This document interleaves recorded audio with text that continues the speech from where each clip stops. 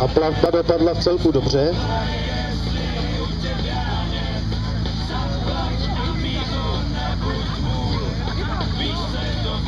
Měli tam chlice chlap, chlapci na mále, ale ustáli to. a